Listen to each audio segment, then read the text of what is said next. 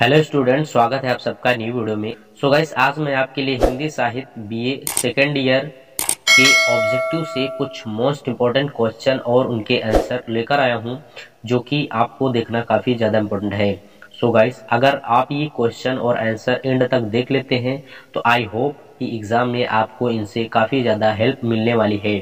सो so दोस्तों, चलिए first question को देख लेते हैं। आपका फ़र्स्ट नंबर का क्वेश्चन है कि साहित्यकारों एवं पत्रकारों में हरिश्चंद्र को भारतेंद्र उपाधि से कब सम्मानित किया गया? यानी कि किस सन में हरिश्चंद्र को भारतीय उपाधि से कब सम्मानित किया गया? तो इसका राइट आंसर हो जाएगा। ऑप्शन नंबर डी आपके ऑप्शन चार है एंड ऑप्शन नंबर डी इसका राइट आंसर यानी कि अठारह सौ अस्सी ईस्वी में ओके सो चलिए नेक्स्ट क्वेश्चन की ओर अपना नेक्स्ट क्वेश्चन है कि समस्या पूर्ति किस युग की लोकप्रिय काव्य पद्धति थी? तो इसका राइट आंसर हो जाएगा ऑप्शन नंबर बी यानी कि भारतीय युगों के।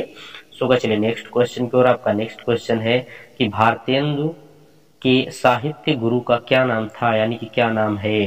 कि भारतीय के साहित्य गुरु का नाम है। तो इसका राइट आंसर हो जाएगा ऑप्शन नंबर सी यानी कि शिव प्रसाद सितारे हिंदू के।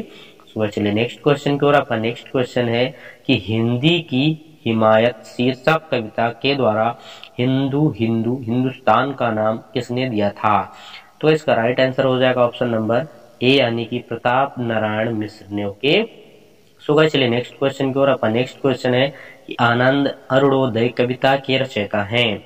आनंद अरुणोदय कविता के रचयिता हैं। तो इसका राइट आंसर हो जाएगा ऑप्शन नंबर बी, यानी कि प्रेम घनों के। सो चलिए नेक्स्ट क्वेश्चन की ओर, आपका नेक्स्ट क्वेश्चन है इनमें भारतीय युग की विशेषता कौन नहीं है? इनमें भारतीय युग की विशेषता नहीं है। तो इसका राइट आंसर हो जाएगा ऑप्शन नंबर सी यानी कि कल्पना की अधिकता ओके सो चलिए नेक्स्ट क्वेश्चन की ओर, आपका नेक्स्ट क्वेश्चन है कि विजयनी, विजय विजयंती कविता किस कवि की है? तो इसका राइट आंसर हो जाएगा ऑप्शन नंबर ए यानी कि भारतेंदु हरिश्चंद्र के।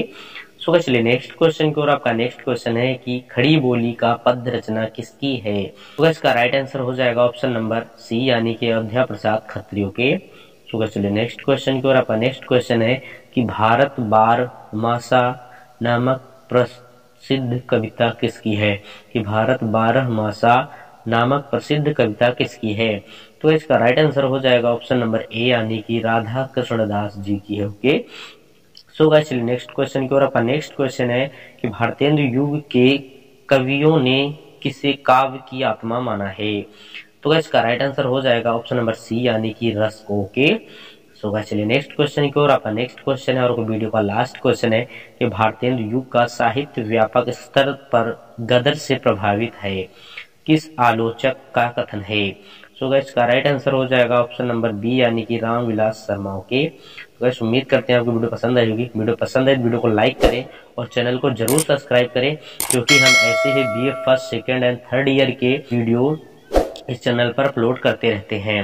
सो गैस मिलते हैं नेक्स्ट वीडियो में, तब तक लिए बाय टेक केयर जय हिंद. वंदे मातरम.